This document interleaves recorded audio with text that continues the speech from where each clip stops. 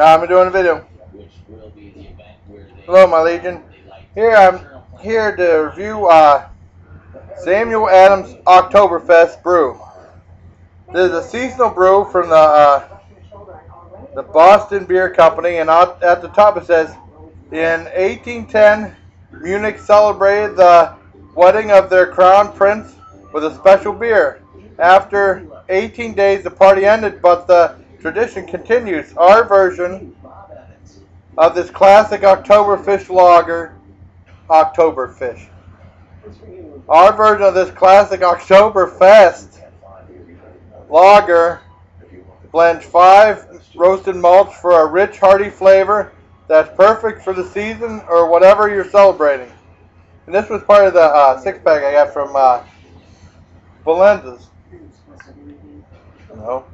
Hi, Mr. P. Hi. I like beer too. Yum, yum, yum. Uh, why did I do that? Alright, this is not a twist top again, so I have to try to open it this way. We settle John's case for the money he deserves. With this. Uh, Serious injury law firm. Call the Travis Law Firm 455 Get drunk.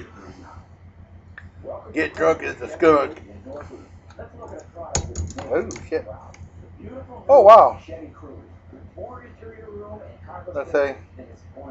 International Chicago Gold Award winner, right here.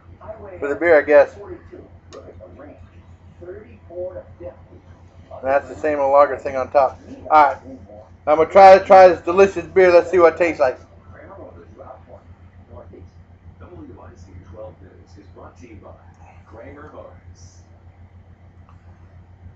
It's got a good beer taste.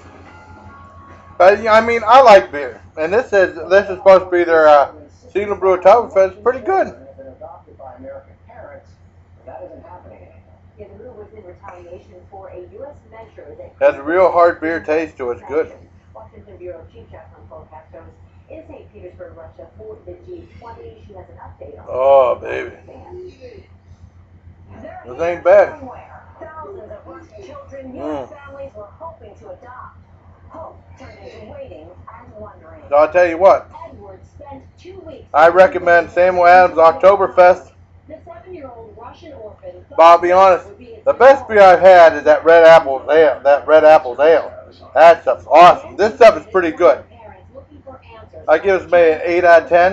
And the Samuel Adams Oktoberfest, pretty good. Get drunk. And until next time, Yeah. See you later, guys.